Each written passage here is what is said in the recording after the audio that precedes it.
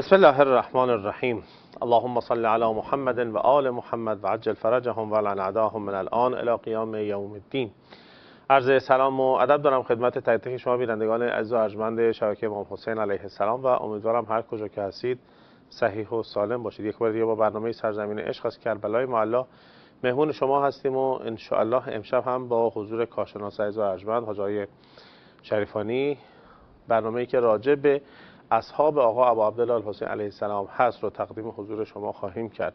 از طرف شما و خودم خدمت کارشناس عزیز و ارجمند حاجی شریفانی عرض ادب و سلام دارم و انشالله برنامه رو با حضور این کارشناس محترم شروع خواهیم کرد. حاجی شریفانی سلام عرض خدمت شما. و الله الله اجورنا و اجورکم.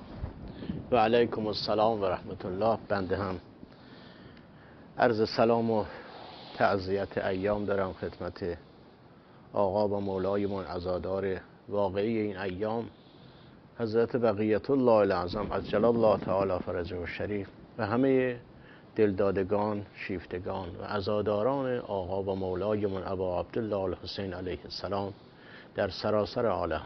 انشالله خدا رسول می‌کنه انشالله اجازه بفرمایید برنامه رو با زیارت آقا حسین علیه السلام شروع بکنم بعد شروع وارد بحث بشیم. خواهشونم در خدمت هستیم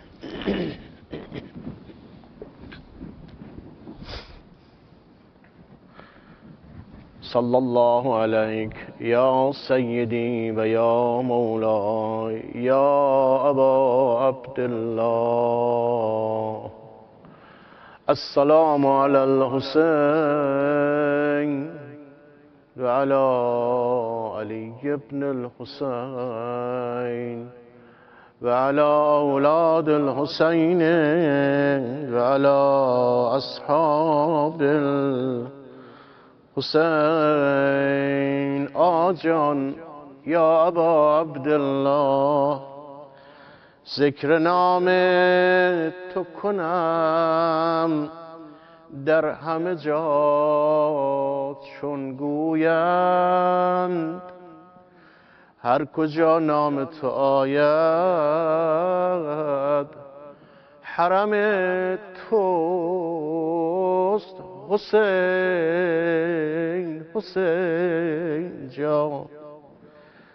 آجان شب جمعه و شب زیارتی شما.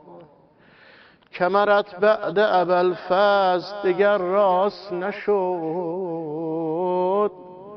یا ابا عبدالله شاهدم اشک تو قد خم توست. حسین صلى الله عليكم ورحمة الله وبركاته. صلى الله عليك يا سيدي ويا مولاي يا قمر منير بني هاشم يا ابن أمير المؤمنين. يا ابن أمير المؤمنين المطيع لله ولرسوله ولأمير المؤمنين ولأخيه الحسن والحسين. ورحمة الله وبركاته.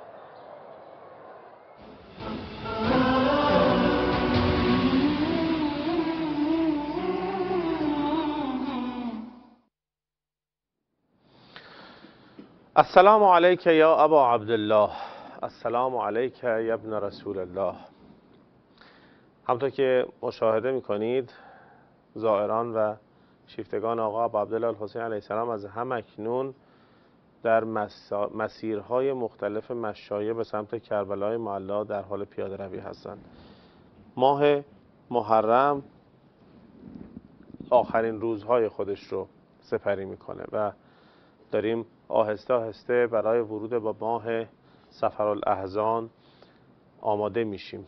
ولی چه کنه این دل که عاشق آقا امام حسین علیه السلامه. قبل از ماه سفر قبل از روز اربعین و ایام زیارت اربعین عاشقان آقا عبدالله الحسین علیه السلام از اقصانقات این کره خاکی به سمت کربلا در حرکتند. خوشا به حال کسانی که آقا امام صادق علیه السلام در حق اونها و در زیارت مخصوصی که برای روز اربعین هست به کسانی سلام فرستاده که رنگ پوست بدن اونها به خاطر شدت حرارت خورشید و تابش خورشید تغییر پیدا کرده. السلام علیک یا ابا عبدالله. یک بار دیگه با برنامه سرزمین عشق در خدمت شما هستیم و همطور که مستحضر هستید دیشب راجع به بریر یکی از اصحاب خالص آقا ابا عبدالله حسین علیه السلام صحبت کردیم و اینکه چگونه با رفتار حکیمانه خود در مقابل عمر سعد و عدم سلام کردن به عمر سعد ملعون به تمام جهانیان این خبر رو رسوند که عمر سعد از دایره اسلام خارجه. و مطالب بسیاری راجع به بریر تا به الان شنیدیم و اجازه بدید من باز هم از کارشناس عزیز و ارجمند حاجی شریفانی بپرسم که آیا در باب بریر و آنچه انجام داد در کربلا مسئله و مطلب دیگری باقی مونده یا اینکه امشب انشاءالله به موضوع دیگری و شخصیت دیگری از اصحاب آقا محسن اسلام در کربلا خواهیم پرداخت؟ حاج شریفانی راجع به بریر دیگه چه خبری هست و چه مطالبی غیر از آنچه تا به الان گفته شد میشه گفت. بسم الله الرحمن الرحیم. یا ابا عبدالله. یا حسین. انی لا اعلم اصحابا اوفا و ابر من اصحابی. این کلام نورانی تا به قیام قیامت هم دربارش صحبت بشود باز هم محل استخراج معنا را دارد. تو چه کردی حسین؟ صلوات الله علیه. اینها چه می‌دیدن از امام حسین؟ بریر بریر بریر. و ما ادراک من بریر من بریر من بریر. واقعا چی اینا رو می‌تونه بشناسن بله عرض شود که نسبت به حضرت بریر رضوان الله علیه و صلوات الله علیه مطلب که الا ماشاءالله هست. ولیکن ما گلچین هایی می کنیم از این چمنزار زندگی بسیار نورانی این مرد شریف و این مرد الهی و بزرگ این مرد حسینی به تمام معنی کلمه برجستگی های زندگی ایشون الا ماشاءالله هست ولی اون که مربوط به کربلا هست ما میگیم که حالا اگر بشد بحث رو جمعش کنیم دیگه چون که خیلی به اطاله کشیده شد اما خب اون گونه که دوستان و بینندگان محترم خبر میدن و خیلی از عزیزان دارن رسد می‌کنن نه ما که حوصله اون اصلا سر نرفته و حتی به وجه میگن بعضی وقتا و خیلی نشاط نشاط آور هست بحث نشاط آوری هست.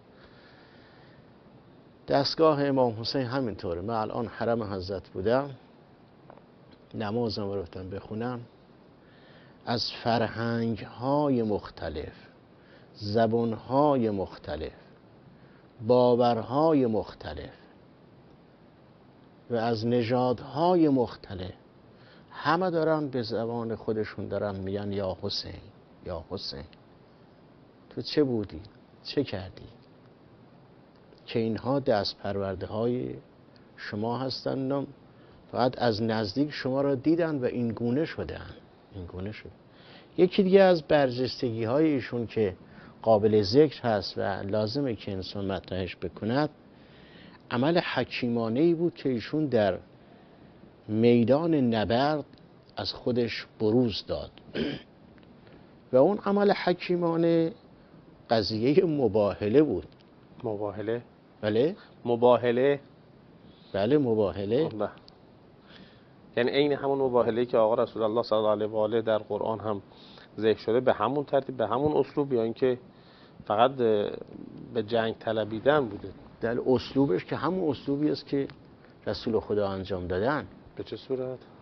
حالا که این که شما شگفت زده شده مثلا اینکه در میدان نبرد اونجا جای مباهله. همون چون میدان نبرد جای جنگ است و شمشیر است و سپر و نیزه و یعنی بله. اینا خد... چرا میگم آقای شریفان؟ اینا حتی صحبت بریر رو هم گوش ندادند. حتی در هنگام صحبت کردن بریر سوت و کف می‌زدند و مانع صحبت کردن اه. بریر میشن چگونه بریر می‌تونه در اون شرایط مباهله بکنه؟ این جای تعجب رو برمیانگیزه. بریر یک این که ایشون خودش یک مرد قرآنی است. بله. حافظ قرآنه. یک عالمه. یک مفسر قرآنه. شاگرد و دست پرورده امیرالمؤمنین صلوات الله علیه؟ بله. و ایشون اصلا که در بحبوحه جنگ مباهله انجام داد. حالا وجه شما میگیم خدمتتون. اول از که مباهله چیست؟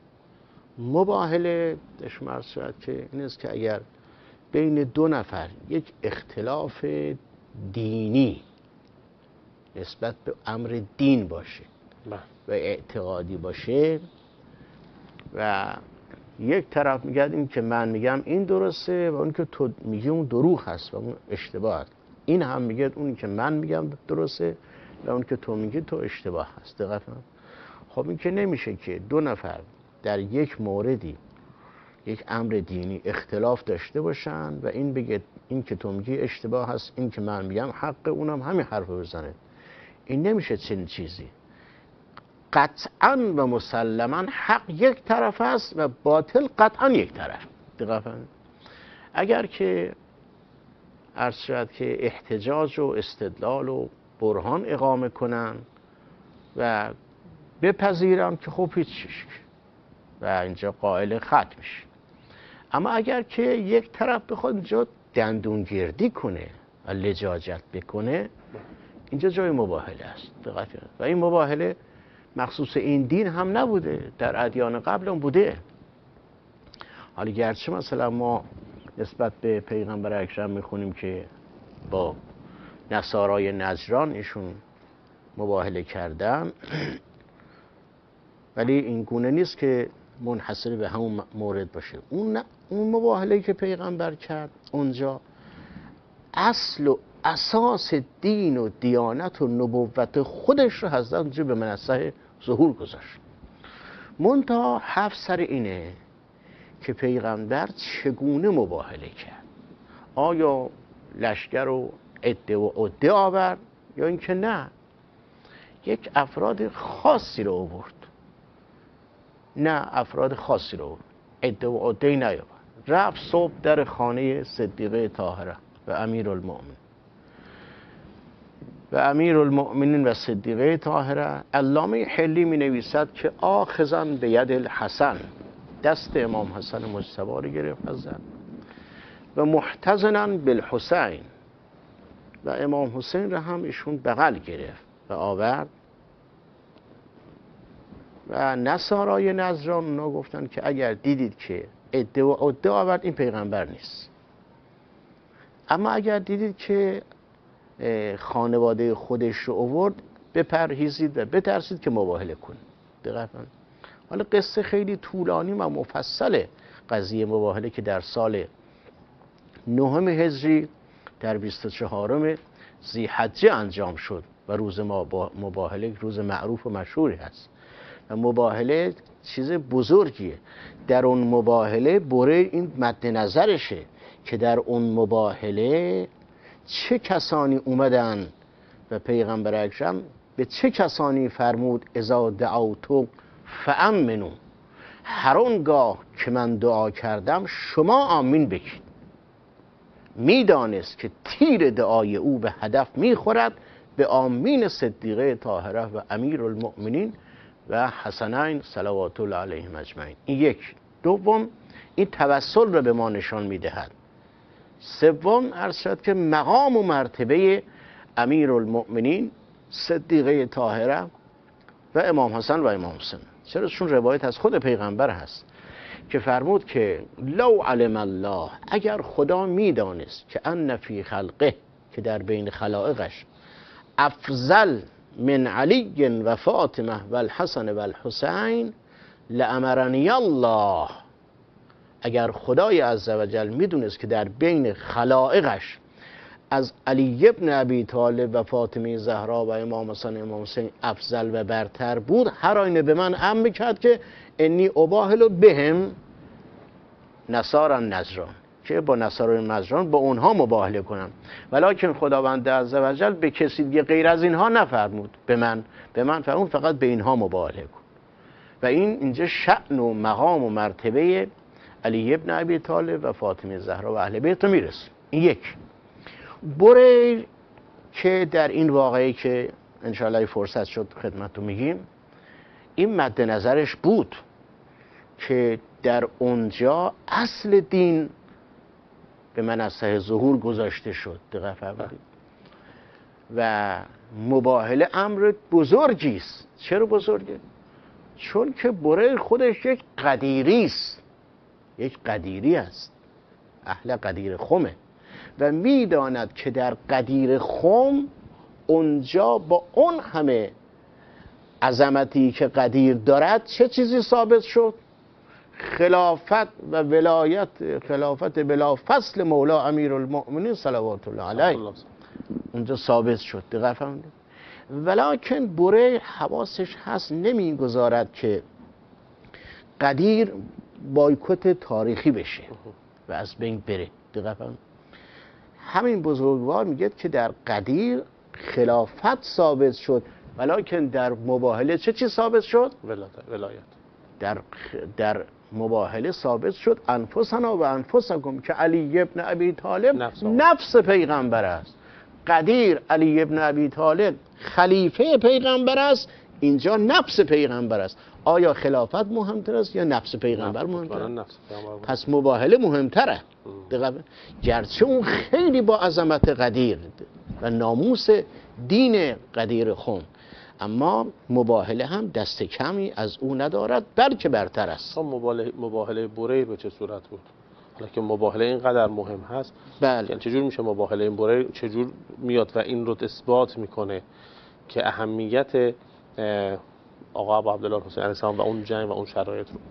بریر وقتی که با عمر سعد رفت پیشش و تو خیمش و سلام نکرد اون قضایی که خدمتون عرض کردیم و اومد به امام حسین گفت که ابن رسول الله. این هوای حکومت ری تو سرش. مثلا هیچی نمی‌فهمه. هر چی بگی همون حرفش رو تکرار می‌کنه. اینجا بود که حضرت فرمود انا لله و انا علیه راجعون. و بریر دید که نه دیگه حرف زدن با این فایده نداره. وارد میدان شد. و بریر وقتی اومد میدان که بعد از حر ابن یزید ریاحی رضوان الله علیه بعد از حر شهید شد بریر اومد. یعنی تقریبا در لحظات آخر امام حسین بریر وارد میدان شد. وقتی که می‌زد این مرد بزرگوار و رجزی میخون و می‌رفت جلو همینطور. رجزش این بود که فریاد می‌زد می‌گفت که اقتربوا منی یا قتلت المؤمنین. اقتربوا منی یا قتلت اولاد البدریین یا قتلت اولاد رسول رب العالمین و ذریت الباقین. بیاد نزدیک بیاد جلو. و می اومدن میدان و درنگی نمی کرد که اونها رو به جهنم میفرستن و عرض شود که حتی قتل از سلاسین رجلا تا اینکه با همین طور که می‌رفت پیش و رجز می‌خوند و مبارز طلب می‌کرد پیوسته سی نفر رو به جهنم واصل کرد.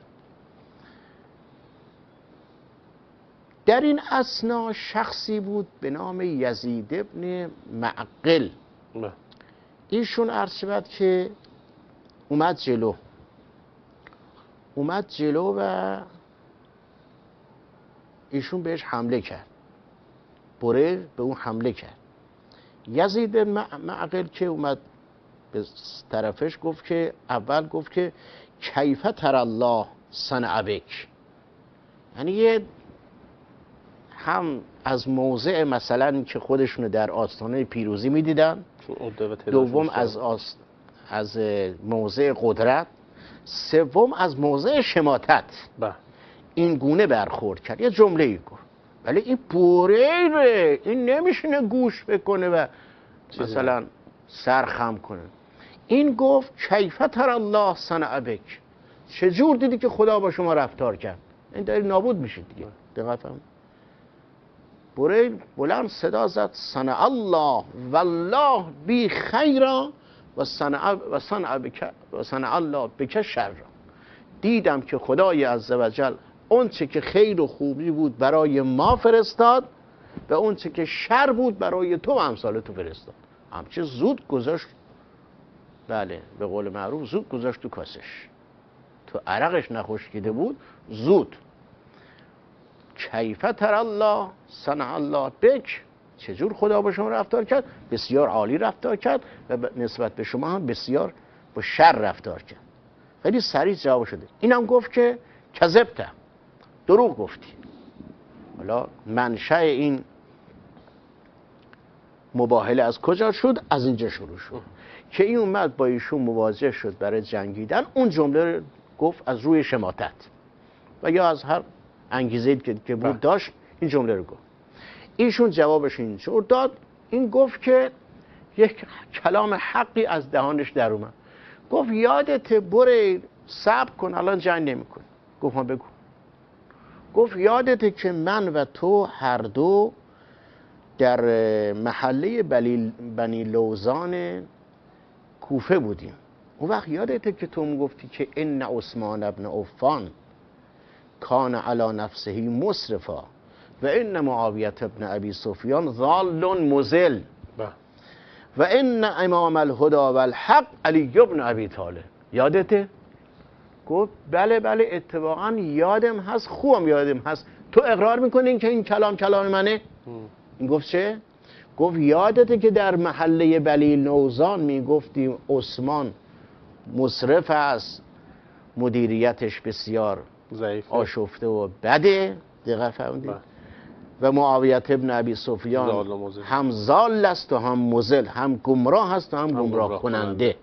این دو و اگر کسی دنبال هدایت و حق میگردد هدایت و حق بر محور علی ابن ابی طالب امیرالمؤمنین هست.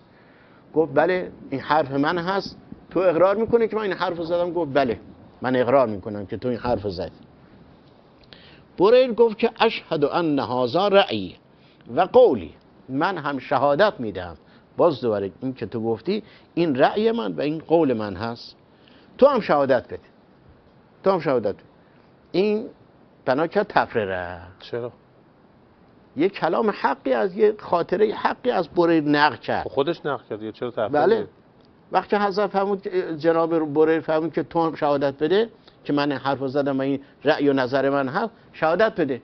این ترسید. تفرره عجب بنا کرد عرض که فرافکنی کرد. تفره رفته بعد خودش زد به نادانی. خودش زد به نادانی و گفت که اشهد انک من المضلین من گواهی میدم که تو از گمراه گمراهان هستی گمراه کننده ها هستی. من از مزلینم و تو از مهدیین هستی. تو اهل هدایتی و من اهل گمراهی هستم. بریر میگه. بله. اینجا بود که فرصت را بریر قنیمت شمون و با یک قلبی مملو از ایمان و اعتقادی راسخ گفت میای با هم مباهله کنیم حالا تو بحبوحه جنگ میای مباهله کن اونا گفت بله مباهله میکن بله مباهله کن از اسب پیاده شدن و سریع به, هیئت شخص مباهله کننده نشست. در مباهله هم ارشد همونطور که قرآن میفرماید که قرآن فرماد که ان مثل عیسی عند الله که مثل آدم خلقه من تراب ثم قال له کن فیکون این حرفی بود که نصارا با پیغمبری بحث داشتن. اون گفتن عیسی پسر خداست. این رسول خدا فهمیدن نه مثل عیسی نزد خدا مثلش مثل آدم است. آدم از گل درستش کردن عیسی هم از گل درست کرد. دقیقاً این همون. خدا نیست پسر خدا هم نیست. الحق من ربک فلا تکونن من الممترین. بعد فرما فمن حاجک من فیه من بعد ما جاءک من العلم فقل تعالوا ندعو ابناءنا و ابناءکم و, ان و نساءنا و نساءکم و انفسنا و انفسکم. اگر که بعد از آنی که علم را بر آنها مطرح کردید و با علم با آنها برخورد کردید باز هم زیر بار حق نرفتن اون وقت قرآن فرماید چه کار کن؟ بگو که ما فرزندانمون میاریم شما هم فرزندانتون رو بیارید. ما زنهامون رو میاریم شما هم زنهاتون رو بیارید. ما خودمون رو میاریم شما هم خودتون رو بیارید. انفسنا و انفسکم. که در اینجا در این آیه ابناعنا کیا بودن؟ حسن و حسین بودن. بله. حسن و حسین مصداق اتم فرزندان پیغمبر اکرم حسن. این یک. بله. دو. نساءنا و نساءکم. صدیقه تا- در این قضیه. که حضرت زهرا بیشتر نبودن. بله. صدیقه طاهره مصداق اتم نسانا نساء پیغمبر هست دقیقه فهمیدید و سوم علی ابن ابی طالب هست که. انفسنا و انفسکم که در این آیه علی ابن ابی طالب نفس پیغمبر اکرم محسوب می شود درست؟ خب در اینجا عرض شود که بعد میفرماد که ثم نبتهل. آیه تمرین عرض شود که تعلیم می‌کنه بله. ما را. اگر نپذیرفتن ثم نبتهل. مباهله کن. فنجعل لعنت لعنت الله علی الکاذب ما خودمون ما خودمون از بالا. لعنت خودمون رو و غضب خودمون رو و خشم خودمون غضب قرار دادیم بر اون کسی که دروغ گفت. بر دروغ گفت. فنجعل لعنت الله علی الکاذب خب. نتیجه مباهله ایشون بله؟ میگم نتیجه مباهله بریر الان مباهله. از از اون پایین پیاده شد ایشون پیاده شد. مراسم مباهله رو انجام دادن. تمام شد. سوار بر اسب شدن. هر دو. هر دو سوار بر اسب حالا عرض شود که سوار بر اسب شدن. حالا ببینیم آخرش این مباهله به کجا می‌رسه؟ بله؟ میگم ببینیم به کجا می‌رسه؟ بله این آخر باید این مب- نتیجه بگیریم. یعنی بله. باید شخص دروغگو و کاذب بلایی سرش بیاد. حالا ببینیم عرض شد که بالاخره این نتیجه چه شد؟ نتیجهش این شد که اول ایشون تاخت بر یزید ابن معقل. و چند ضربت بین اینها رد و بدل شد. شخصی اونجا وایساده و قضیه رو از نزدیک داره می‌بینه. به نام عفیف ابن زهیر. بله. عفیف ابن زهیر ناظر این صحنه است. میگه گویا من دارم می‌بینم که مباهله تمام شد و برید حمله ای کرد بر یزید ابن معقل. و شمشیری زد که نوک شمشیرش رفت تو کاسه کله یزید ابن معقل و همین این آقایی که شاهد بله. قضیه از زهیر ابن عفیف. بله عفیف ابن زهیر. ایشون میگه که من دارم می‌بینم که زهیر داره شمشیرش هی تکون داد تا از تو کاسه کله مخچه این بیاد بیرون, بیرون. اومد بیرون افتاد رو زمین جا به جا به جهنم واصل شد. یزید. این یزید بن بله مباهله اینجا به اصطلاح نتیجه داد نتیجهش رو اتفاقا در دو سه مرحله نتیجه داد. در یه چطور؟ مرحله نتیجه نداد. چطور؟ مرحله اولش این بود که یا بگم فاز اولی. فاز اولش این بود که جا به جا این کشته شد. این یک و اینکه خود لشکر کوفه دیدن. و آقا امام حسین هم می‌دیدن این قضیه رو که بریر مباهله کرد و بلا فاصله به جهنم واصل شد. یزید ابن معقل طرف مقابل. عفیف میگد که من خودم دارم می‌بینم که شمشیر بریر تو مغز کله این است و هی داره تکون داد که بکشی این هم داشت جون می‌داد فریاد زد در اون لحظات آخرش یزید معقل به هم قطاریا و هم قبیلیاش و گفت عین اهل المصارع و دفاع کجا که دوستان رفقا که بیان از من دفاع کنن؟ و تا اومدم بیان که این به جهنم واصل شد. اونا اومدن با بره گلاویز شدن. بله. رفقای یزید ابن معقل.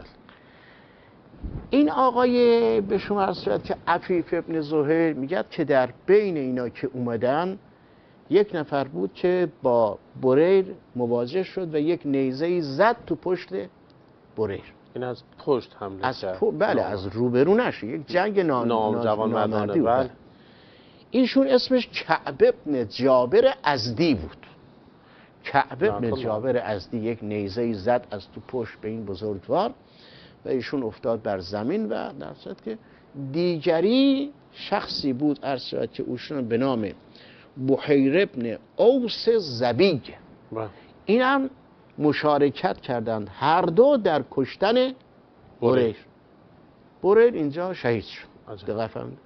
خب حالا اونچه که مهم هست اینه که اون اثر دوم این مباهله شروع اثر بله. اولشون که یزید به جهنم بله. به سوزه اثر دوم در حال اینجور نمیمونه جنگ خاتمه پیدا کرد و اون یزید اون عرض که جابر ابن بله. کعب ابن کعب ابن جابر. کعب ابن جابر ازدی رفت خونه شون کوفه. یعنی بعد از واقعه کربلا. بله. این فرجام رقم چه فرجام نکبتی پیدا کرد؟ قاتل بریر بله. بله. یکی از قاتلاش قاتل دیگرشون باز اونم سر جای خود. اون تو فاز سوم خب. گرفتار. شد. فاز دومش اینه. بله. این رفت کوفه منزلشون. وقتی که وارد منزل شد این اون که در متن تاریخ هست است که یک زنی به او برخورد کرد که یا خواهرش نوشتن بود یا همسرش بود بله. حالا به هر حال هر کی بود. بهش گفت که کجا اومدید چه خبر؟ اینا گفت که بریر رو کشتم. و این خبر پیچیده بود تو. اهل کوفه بریر رو می‌شناسن چون بریر اهل کوفه بود اصلا. بله. بله. این خبر پیچید که بریر در کربلا کشته به شد. دست کعب ابن بله و جابر. کشنده او قاتل او هم کعب ابن جابر ازدی جابر ازدیف زنش تا شنید گفت انت علی ابن فاطمه و قتلت سید القرا رفتی و بچه های فاطمه زهرا رو کشتی و دشمنان فاطمه زهرا رو کمک کردی. انت علی ابن فاطمه کمک کردی علیه بچه های فاطمه فاطمه. زهرا. و قتلت سید القرا و سید القرا بریر رو کشتی. رو. لقد اتیت عظیما من الام بسیار کار زشت بزرگی کرده ای. خب دیگه بعد گفت والله لا اکلمک من رأسی ابدا. دیگر من با تو از این سرم از این دهانم حرف نخواهم زد. آشفتگی خانوادگی شروع شد. الله. بله. و این هم در یک زاویه خمود و زشتی و بدی تو جامعه گیر کرد و به هر حال با یک وضع بدی ایشون به جهنم واصل شد که اول خانواده از خونه بیرونش کرد. تمام شد. مطرود خانوادش طایفه با او کنارگیری کردن. هر جا می‌رفت مردم ازش حذر کردن برو بیرون. تو بازار رفت برو بیرون. تو. مجالس و محافل عمومی مردم رفت برو بیرون. تو. مسجد رفت برو بیرون. خسرت دنیا بله. این فاز دوم. و با هم وضعیت از دنیا الله. و اما اونی که همدست ایشون بود بله. حالا این مباهله چه کارها کرد نتیجه دوم مباهله بود؟ این نتیجه دوم. نتیجه سومش. بله. که مرحله سوم فاز سوم این مباهله این بزرگوار. این هم دست کعب ابن جابر شخصی است به نام بحیر ابن اوس زبیگ اینشون یه پسر عموی داره. بله. این بحیر ابن اوس.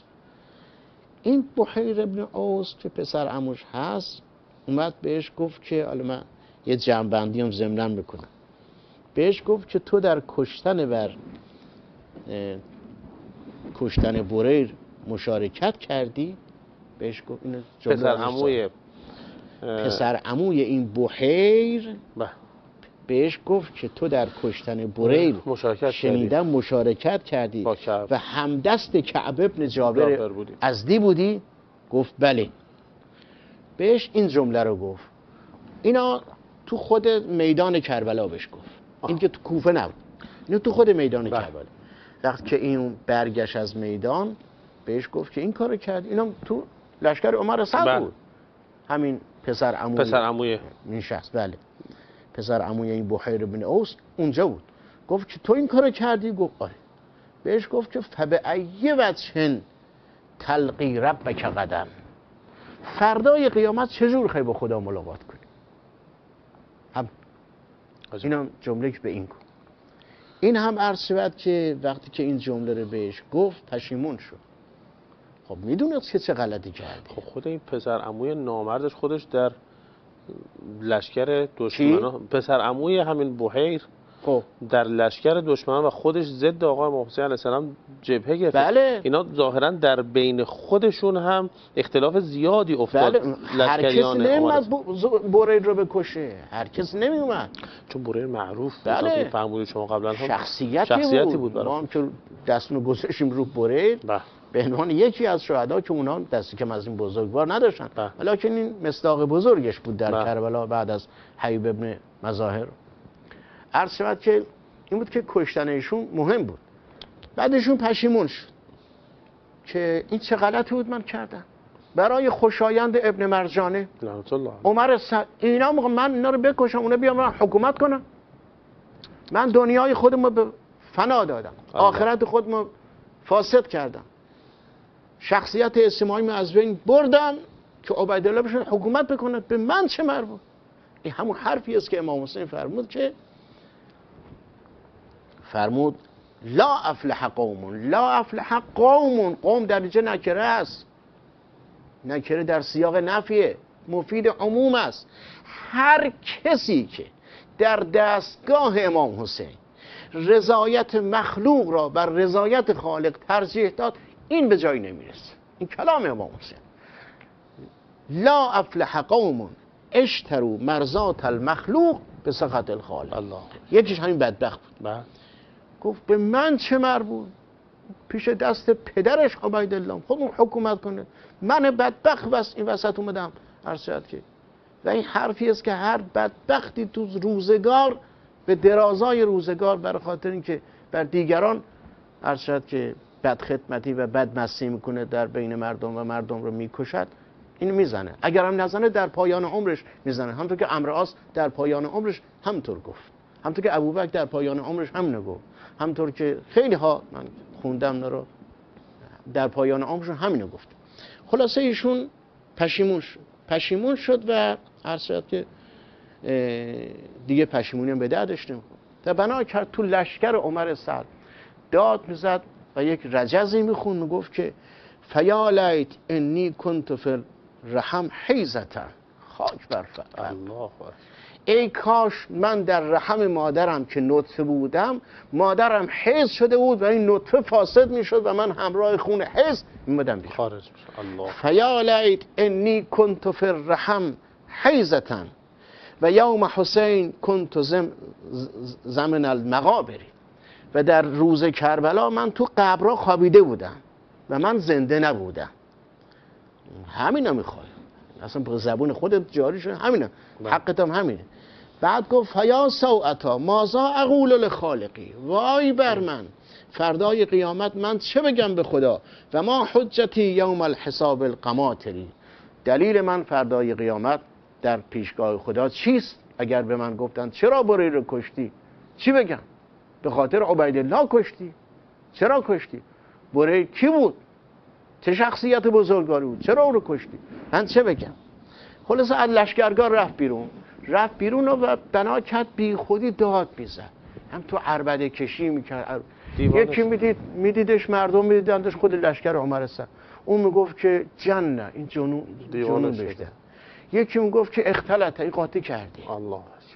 هر یکی یه چیز گفت. اینقدر عربده کشید عربده کشید که همونجا افتاد مرد این فاز سوم پناه بر مباهله این بزرگوار. حاجا به این مسئله که اشاره فرمودید یه نامی هم از ابوبکر آوردید که دقیقا ابوبکر هم اواخر عمر خودش همین بله. آرزوها رو می‌کرد. می‌گفت ای ابو کاش بکر که- هم روزهای آخر عمر نحس شومش بله. گفت که ای کاش بیت فاطمه زهرا را- یا لیک لم اکشف بیت فاطمه ای کاش در خانه فاطمه زهرا رو نگفته بودن به اون پلید دومی که برو اونجا رو آتش بزن بله. ای کاش کار دیگه نکرده بودن که یک شخص بود زنده چون که با این بیعت نکرد زنده آتیشش زد الله امروز اگه مثلا ما این چند وقت که مثلا بله. این داعش اینا مثلا مطرح بودن؟ آدم رو میسوزوندن اینا از اونجا یاد گرفته بله. بودن اینا چند نفر رو سوزوندن دقیقه فرمودید الله حالا بگذاریم. عرض شود که معاذ ابن جبل. معاذ ابن جبل دومادش. عبدالرحمن ابن قنم. بله. عبدالرحمن ابن قنم ازدی. میگه من اونجا بودم دیدم که داره هزیون میگه. گفتم آره اینا هنگام مرگ هزیان که گفت نه نه نه نه من هم هزیان نمیگم. هزیان این پیغمبر من علی ابن ابی طالب. دارن بشرانی به نار. من رو دارن بشارت به آتش میدن به من چه که اون جنایات رو بکنم در خانه صدقه طاهره که عمر و ابوبکر بکن حکومت بکنن روز آخر همینطور بله. همینطور بشه فرمایید. و موارد دیگه هم که الا ماشاءالله تو تاریخ پره پره کم من نیست راجع به اون مثالی که این بوهیر, بوهیر اگر اشتباه نکنم فرمودید گفت که اگر کاش من خونه حیز بودم و از بین می‌رفتم ابابکر هم گفت که کاش من یونجه بودم علفی بودم بزی می‌خورد حیوانی من چارپای مرا می‌خورد و بعد در بدن او تجزیه می‌شدم و از بدن او خارج می‌شدم و اون شیء می ولم اکو انسان. انسان نمی بودم. اینو خود سنیا نقل کردن بله. بله. بله نه. کتب خود اهل از این. اعلام ماشاءالله اینو گفتن. عرض شد که این عمل حکیمانه ایشون و این یکی از برجستگی های پایان عمر ایشون در کربلا بود. و نتیجه مباهله بریر بود با دشمنان آقا با یزید ابن معقل. نه. این خودش یک دلیل مبرهن حقانیت. نقطه تاریخ سازی شد. بله. برای شیعه امیرالمؤمنین که هیچگاه از حق علی ابن ابی طالب و اهل بیت کوتاه نیاد. اگه کوتاه اومدید همونجا ابتدای ضررتون هست. دلیلش یک عرض شود که مباهله پیغمبر. بله. دو اینکه امام صادق فرمود در کارهاتون با دشمنان ما مباهله کنید. و قبل از امام صادق چون در زمان کربلا که امام صادق متولد نشده بودن بریر عزیز بزرگوار نازنین ما این کار کرد. و این خود مبدع تاریخی شد بعد از پیغمبر برای اینکه غیر از پیغمبر و غیر از معصومین هم اونا می‌تونن چه کار کنن؟ وارد این مرحله بشن و با دشمن عنود لجوج خودشون چه کار کنن؟ مباهله کنن. و دقیقه لذا ما. یک مورد هم سراغ داریم که در اصحاب ائمه در اصحاب امام صادق علیه السلام. صفوان جمال بله. ایشون یک نوه ای دارد. نوه او هم یک مرد فقیه و جلیل القدری است. ابو عبدالله صفوانی معروفه. نوه صفوان جمال که از اصحاب اجماع و از اصحاب موسی بن جعفره. ایشون چون که در محضر سیف الدوله بود سیف الدوله حمدانی بود و بحث شد سر عرض شود که امور اعتقادی. نگفت که نه حالا ما باید کوتاه بیام مثلا باید چه کنیم چه کنیم چه شود که و به نفع اونها ساکت بشید یا مثلا به ضرر امیرالمؤمنین حرف بزنه. نه. همین آقای ابو عبدالله صفوانی نوه صفوان جمال که سیف الدوله نشسته بود سیف الدوله حمدانی و قاضی موسل که اونم ناسبی بود. نپذیرفت قاضی موسل از حرفای جناب ابو عبدالله صفوان رو گفت مباهله می‌کنیم. قاضی موسل رو گفت باش. دستش آورد جلو. این جناب آقای ابو عبدالله صفوانی نوه صفوان جمال دست قاضی مو- موسل رو گرفت مباهله کردن. وقتی که تمام شد دستش از دست این در آورد. فل مجلس دستش سیاه شد سیاه شد سیاه شد. و فردا کل بدن سیاه شد و به جهنم واصل شد تمام شد. و عرض شد که حقانیت مولا امیرالمؤمنین ثابت شد. بله. و تا الان هر کس که شد بشه. من خودم در مدینه بودم. دیدم که بله چند سال پیش دیدم یکی از همین وهابی ها بنا کرد خیلی جسارت و خیلی دهن درگی و دهن کزی کرد نسبت به شیعه و نسبت به مرحوم شیخ کلینی و شیخ صدوق اعلی الله مقامهم من وقت که دیگه پای این دو بزرگوار شیخ صدوق و کل مرحوم کلینی اومد پیش سب کردم که حرفش که تموم شد تقریبا 20 دقیقه صحبت کرد. تو این 20 دقیقه هم خلاصه سه مطلب رو می‌خواست بگم. من به مردم گفتم که به اصطلاح تشریف داشته باشید. اجلسو یرحمکم الله لی مع هذا شیخ مقاله. گفتم با این مقاله حواری با اینشون بحثی دارم. مردم نشستم با زبان عربی از که فسیح شروع کردم با آیاتی از سوره صورت که یوسف جوابی نده این دیگه هیچی نتونست بگه. گفت که اول گفت که رافض. حالا گفتم افروز انا رافض. الحمد رب العالمین افتخار من. بعد هر که گفت که یه جمله دیگه گفت من یه جمله دیگه باز از یه, از یه آیه دیگه بهش جواب دادم. که ان آجر خورد تو دهانش نتونست.